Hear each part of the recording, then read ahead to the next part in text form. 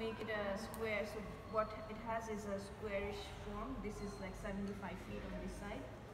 So I made a 75 by 75 uh, square plan. Um, and uh, the square is mainly, uh, it, is your main road, this is the main road. So it, it aligns with the main road here.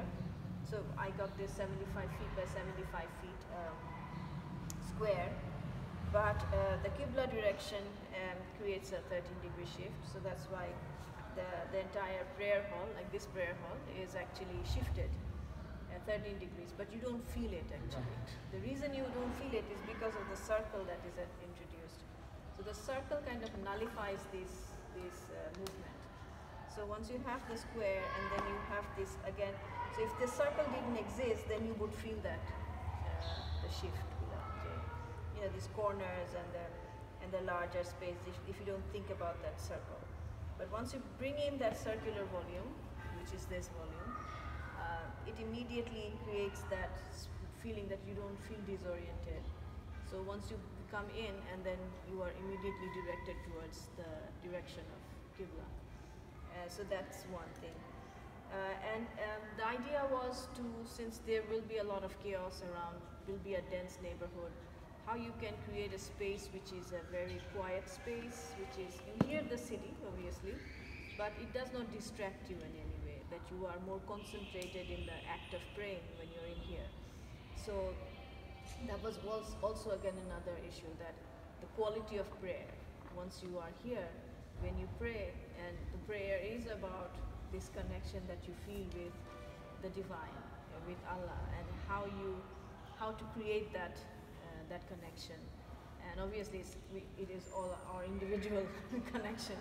Uh, but the way I feel it is that there needs to be that, that feeling of space, and that um, that the space should have that quality. And, uh, and, and, and these circles actually help that because these corner circles which are open to sky, which also allows the rain and the light and the uh, air to pass through, is also again uh, helps to create that sort of light which is diffuse light.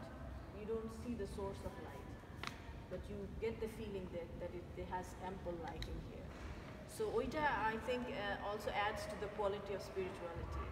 When you do not see the source of light, and that's also uh, something I learned from Kahn, or looking into Kahn's architecture, or many architectures that I've visited, is that uh, when the source of light is not revealed, but the light is kind of coming back to you from, you know, by washing it on the walls, like let's say, like over there, look at that. It gets the light, right? You get the sense of light, but it, the, the, it's not visible anymore. It's kind of glowing with that, that quality. And that gives you the quality of space uh, and, the, and the feeling of spirituality, which I think is, is what is important, um, especially in a space which is about religion. Um, so, so that is why, uh, I mean, initially I was thinking like, you know, if I close this entire thing off, will it be too hot? You know, will people be able to sit in here? And um, so thinking about all those issues was also important and that's why the south side I tried to open it up. So you see the south is very open uh, with that perforated brickwork so that it allows the air to come in. And since we do not get any air from the north side, and I was also not sure what will happen in the north, I tried to close it off. It's not necessary to open it. Um, and if you see, the circle is not absolutely in the center of the square. It's slightly shifted towards this edge. That's because I wanted to create a, a kind of a colonnade through which you can enter from the south. So that's the roadside, the secondary road. You climb up, and then that's the sort of a colonnaded structure, which you'll always find also in our many of our mosques, uh, in the Sultanate period mosques, where we have a little colonnade. So that's also again another connection I tried to create with the old mosques of the Sultanate period, which are I think the most beautiful mosque architecture that we have in our region.